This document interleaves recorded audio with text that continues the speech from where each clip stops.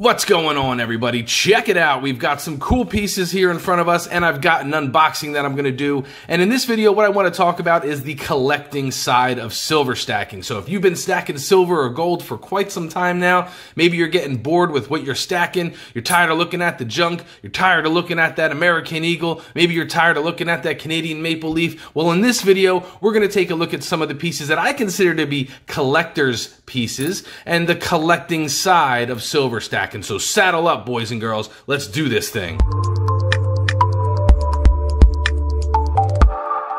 Alrighty, so while we open this up, I will tell you I got this off of Instagram. I know, right? You can sometimes find some really good deals on Instagram. And this is from stacking.nyc, so check him out over there.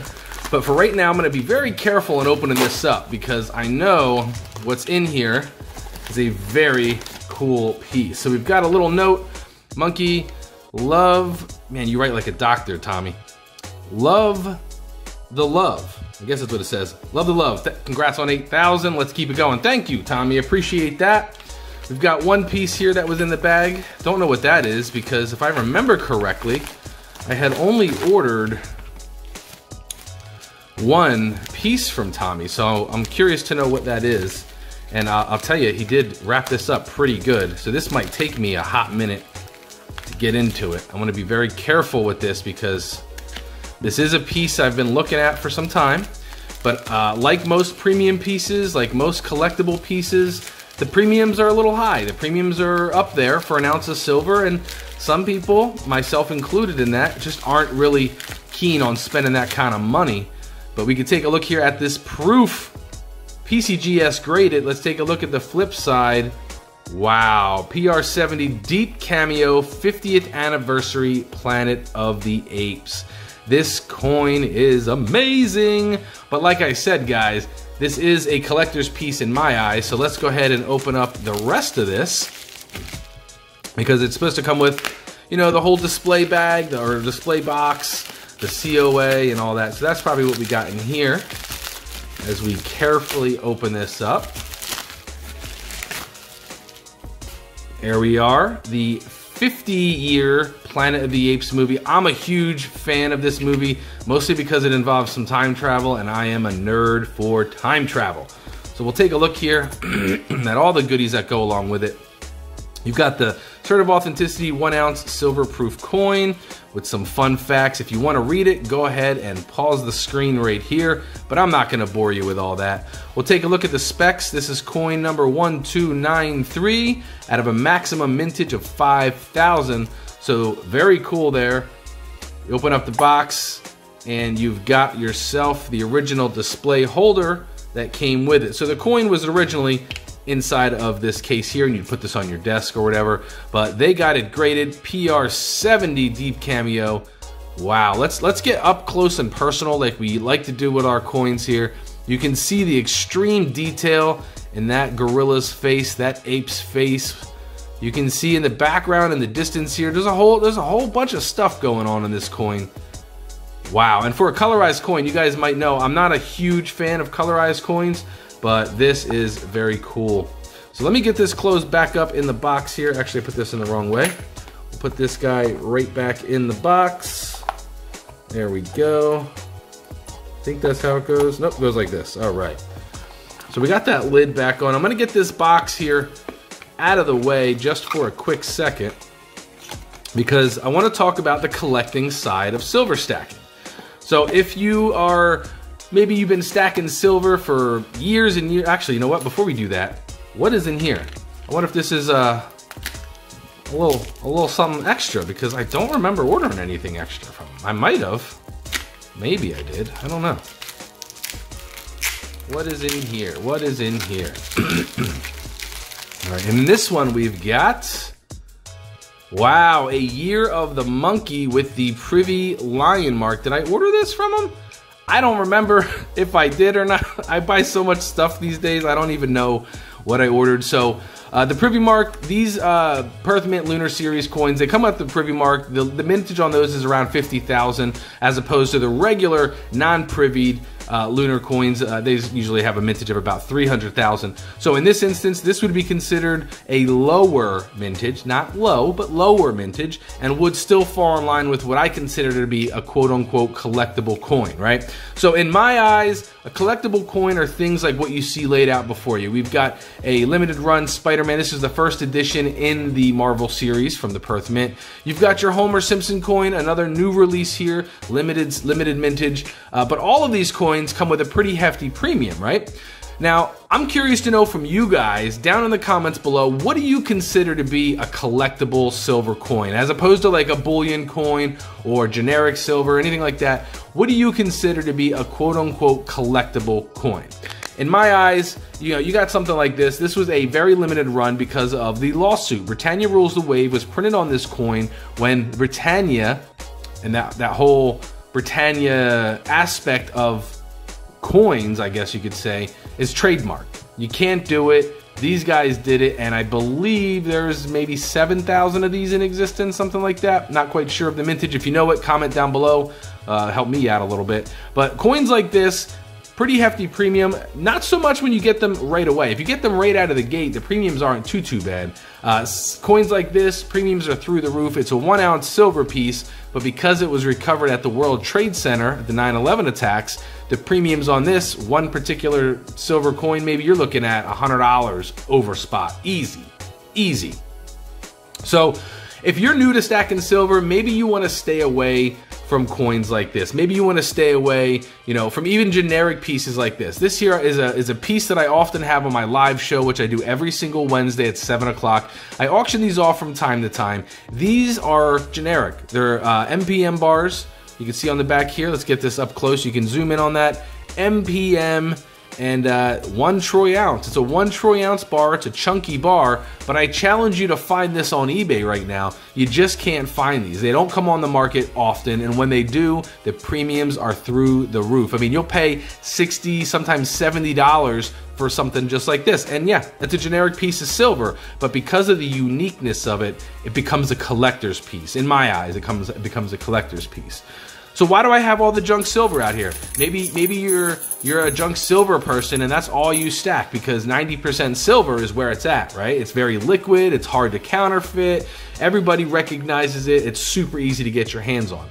I don't consider this to be collectible silver. I have this out here because this is the opposite of the spectrum in my eyes. If you're into collecting silver, if you're into collecting silver, you're probably not buying junk silver like this. This is more so for what I consider to be the investor, right? If you're solely stacking silver and gold with the intention of retiring, cashing all this out when you're old, you know, going and sailing away to wherever, Indonesia, um, you're probably going to be stacking up the generic stuff not the MPMs. You're not going to stack anything like that. You're going to go with more uh, private mint, SilverTowne, private mint, pro- Provident Metals. You know, I shouldn't even say that because Provident Metals prices are actually getting up there. So if you're not into collecting silver and you're just into investing in silver, the name of the game is buying silver as cheap as possible.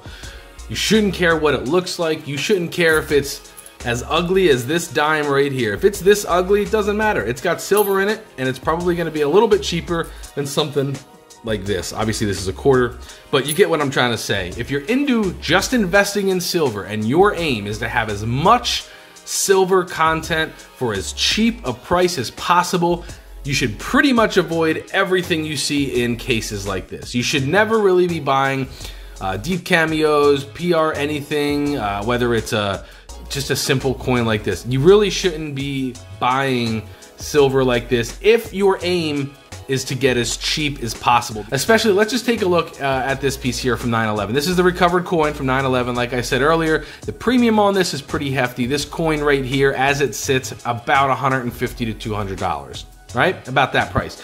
The reason why I say as an investor you should avoid stuff like this is because Check this out. This is 10 ounces of generic bullion sealed up in a tube. I'm not going to open this up, but it's sealed up in here. This is from JM Bullion. They have spot silver prices. You can get 10 ounces of silver for exactly spot these 10 ounces of silver are more inexpensive than this one ounce of silver right here. Isn't that crazy? $150. Right now, silver's at uh, $14.70, say. So if you got the spot deal at JM Bullion, you're gonna get 10 ounces of silver for less than what you would pay for a collectible piece like this.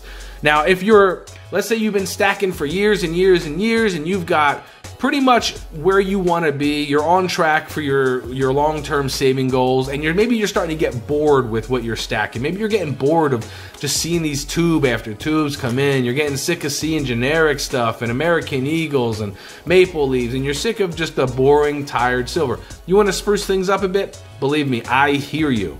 So for me, I love movies. I'm a movie nerd. Planet of the Apes, time travel, big nerd for it. You mix that with some silver and you've got me as a buyer. It's just that simple. So when coins like this actually come out in the market and you don't want to necessarily spend the extra money to get like a, an MS69, which by the way guys, in my personal opinion, it is not really worth it to buy an MS69 if the premium to an MS70 is a few dollars. If the premium to an MS70 is just a few dollars, spring and get the MS70. In my my head, the way that I look at graded coins like this, especially MS69s, anything that's not an MS70, I just consider them to be framed coins, right? I like this coin a lot. I wanted it to be in a framed protective case. So I got it as a graded coin. You don't have to do that. If you're solely looking to get cool coins like that, don't spring for the extra money because it's got a slab with it. Just go and pick up the bullion version. Same thing, same coin, comes in a capsule, it's still protected, but the premium between a coin like this and a coin like that, obviously they're different coins, but the same kind of idea, the premiums are gonna be I would say at least a 20% difference. And that adds up over time. So think about that again. $150 for one ounce of silver, or $147, give or take, for 10 ounces of silver if you find the, the spot deal. Even if you didn't find it at the spot deal, your silver's at 14 some odd dollars an ounce, you'll probably pick up a generic ounce of silver for 17 $18. And eh, do the math, add it up. How many ounces of generic silver at $18 an ounce can you pick up for $150? Quite a bit. And at the end of the day, boys and girls, when you melt this stuff down, I don't care if you're melting down Britannia Rules the Wave, the, uh, the little AP here on the coin, or even the 90% silver. When you melt this stuff down, it all looks the same. Silver is silver is silver. So it doesn't matter what it looks like right now. The reason why we invest, the reason why we buy silver is for the silver content. So at the end of the day, an ounce of silver is an ounce of silver is an ounce of silver is an ounce of silver. The junk silver, a little bit different because this stuff is 90% silver, 10% copper. So you have to melt this down and refine it a little bit nobody's really melting this stuff down unless you're one of those backyard pourers. Maybe you're pouring this stuff, you know, making cool little pieces or whatever, and that's totally fine too. So I throw the question out to you guys. How do you feel about collectible silver or gold? Are you into that? Do you just stack the generic stuff here? Are you into just the slab stuff? Maybe you don't deal with the 999 fine. Maybe all you deal with is the 90% silver, whether it's American or from the UK or even Mexican generic silver or uh, junk silver.